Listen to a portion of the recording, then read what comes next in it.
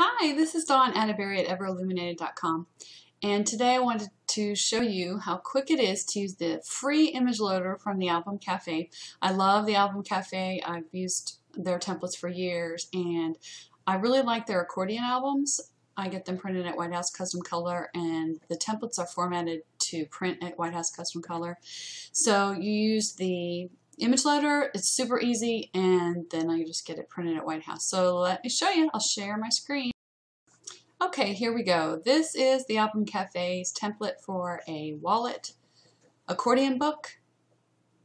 And you can see that it has all the layers here. I'm going to bring up the image loader real quick from Window Extension Image Loader. Here we go. We're going to add images.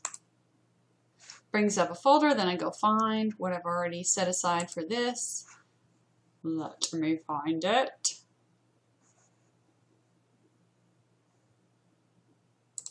Okay, so you'll see, well, the first one was a vertical, so I'm going to start here. And I double click on it, it brings it up. And then I can um, hit shift so I can pull the corner and you'll notice that these blue lines here, these are the safe lines. So I want everything that I want to be printed inside this this inside blue square. So then we're good. So then we hit the checkbox and now next is another vertical. Okay, so we're going to pick something else. Let's see. Let's do this one. Double click. Looks pretty good. I always usually pull it and kind of move it around where I want it.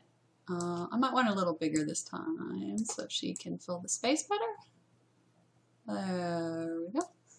And that's okay. And then notice the next one. I have to be thinking of the next size. It's uh, horizontal and there's a line in the middle of it. So I don't want her to be in the very middle. If she is, then her face will be folded in half. We don't really want that. So let's do this one.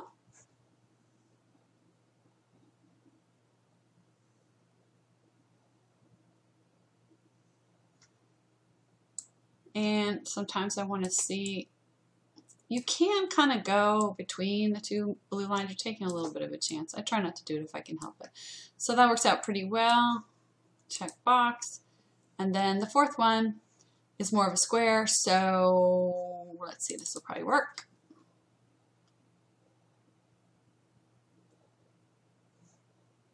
Again, paying attention to the safe lines. I try to stay in the blue line and I notice where the fold lines are just in case. So let's move her up. We'll do, okay, now we go back and I go, well, I'm not really sure I wanted this image in here. I think I'm going to put something else here, this third one. So on this third one, then I go to three, photo number three, I click on that layer, and then I go replace image.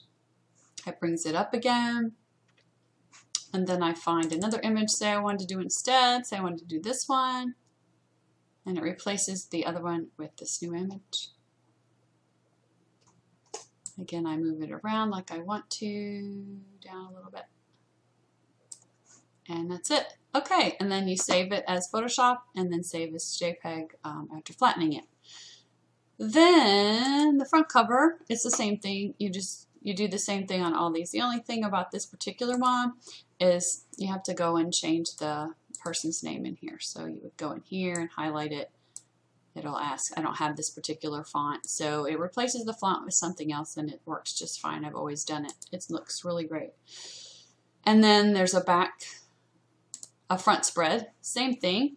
Um, I, um, this ribbon is beautiful. I just um, don't want to be limited by um, the image that I choose. So a lot of times I just don't use that particular slot. So I would fill all these in again. If you want to see it, I'll do it real quick. Uh, add images. we got a horizontal going first. Uh, let's try that one.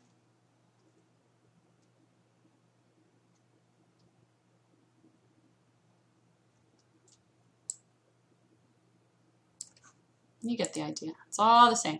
Um, for the back, I created this a long time ago, just one time. I just save it as a JPEG file. That's my high school senior business. And that's all you have to do. I love the Album Cafe.